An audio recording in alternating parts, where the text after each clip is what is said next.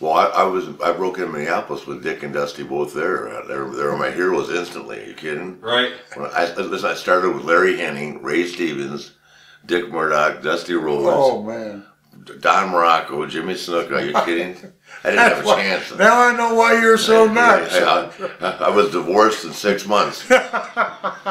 You know what? It, it was work, you know, but Ric never realized it when it came to those shops. so he'd go ahead and beat me to death. Yeah, he, he I never covered up, man. I'd- had a flat chest anyhow. I never had been doing too many damn bench presses. but anyhow, Ric loved my chest, Oh. and he'd he'd zero in on that right away. There, and I'd come home, and my wife would look at me, and she'd say, "Oh my God, Yeah. you've been working with Ric again, haven't you?" I'd just have blood blood prints. Yes, yeah. That's no lie too. Yeah. I mean, I mean, I would blood blisters, you know. Me and Terry and Dory, if I didn't remember, Eddie had a Beechcraft Bonanza, right? So we're flying back from Jacksonville one night, and he's playing that damn country music, right? And he'd been drinking all day, right? Which I, I cover my eyes when I yeah, hear yeah, this and and he he just flew right past the airport over the ocean. I Yeah. scared the hell out of me. Just kept on going, he flew right over the and the lights were airport, right out over the bay. I said, "Where, where, do- where do you think he's going, Terry?" He said, "He had playing. He had a country playing country music in his airplane." I don't know. Good lord. You know, we invented hardcore. He did one night, right, with me in Nashville. He says to me he's going to beat me up after the match with Steamboat. He said, I'm getting a little heat on you. We're going to shoot this angle kid. We invented everything. So he, threw, you know, he threw me out of the ring, right, and bring on thing myself, and he's beating me up. And he says, "Come here." I said, "Where?" He said, "I'm on a pile driver through the table." I said, "What? I never heard that. no, no one had done it yet, right?" Nobody had done it. God, so he picked me up. I saw somebody had a picture of it last night. Picks me up in a pile driver. My legs were straight up. He throws his feet out. Damn, the table didn't break. He almost killed me and himself. He he ruptured a disc and he almost broke my neck. I said, "What the hell are you doing?" He said, "I just thought it would break." But that was the first time I ever did that. the Swear to first God, I I'm, still, I'm, I'm, I'm still two wives behind him. I've had four. He's had six. Yeah, but he shot up more cars. you I eh? know. Wow. You know, Wahoo was gun nuts. You know, I don't know who mentioned it to start with or whatever, but we were up there. No, and- Gary Hart gave you the idea. well, Just you're go out there and put the plastic bag over Flair's head. Good lord. Barnett went crazy. He went, huh? What are you guys doing? You're going to lose my TV show. Yeah, we damn, yeah, we damn near lost it. But then, then what happened though is they had the microphone there, you know, and Ric asked me though. I thought it was pretty shady there. He went ahead and he asked me. He says, uh, "Do you quit? You know, say I quit." I said, "No." No, I didn't say it. Did I say it? The referee said. I said No, it? no, no. You said on Oh. the microphone. Oh, you yeah. said on the microphone. There was, Yeah. say I quit. And he said no. And I, and I said no. And he said, say I quit. And I said no. He said yes. And I said no. And he said yes. And I said no. And then the dirty bastard went ahead and said no. And I said yes. And then went ahead and rang the damn bell. And that's how I lost the match.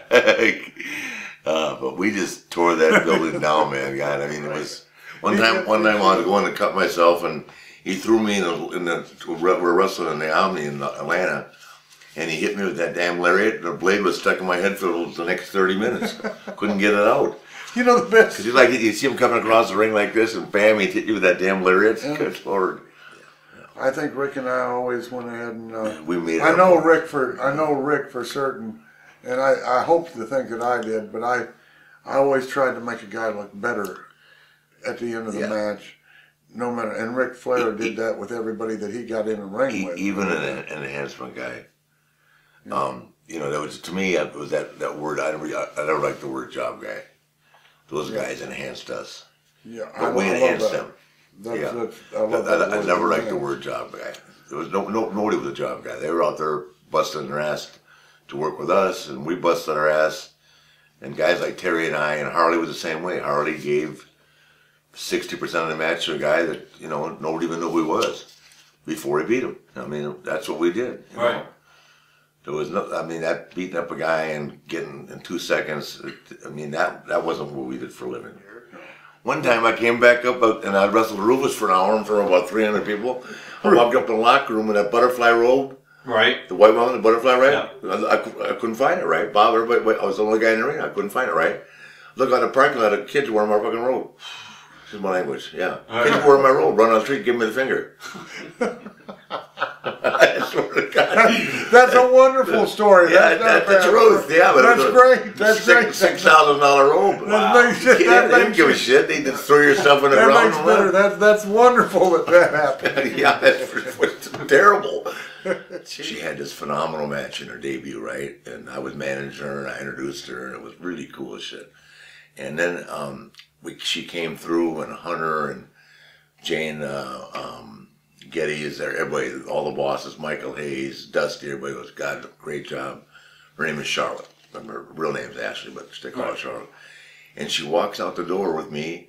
We're walking over to the dressing room, and she just starts crying hysterically. And I go, "What's wrong?" She said, "Dad, do you think Reid saw my match?" How do you answer it? I mean, I mean, I just, I mean, it just killed me. But that's all she thinks about. Do you think he saw my, my match tonight? No, I started crying too. I mean, what do you do? What do you do? I don't have the answer to that question, but I, the answer is I think he did see her. You know, and, and, and, here's the deal: WWE. When you walk through that gorilla position, they call it gorilla, right? Right. With the entrance, right? Right, right. when Vince McMahon is sitting at the table with the controls and he controls everything, right? It's just the way it is, right? You come to that curtain, you're just praying for the thumbs up. If he goes like this, you got a problem. if he goes like this, you go back and go, God, give me a beer. Thank God.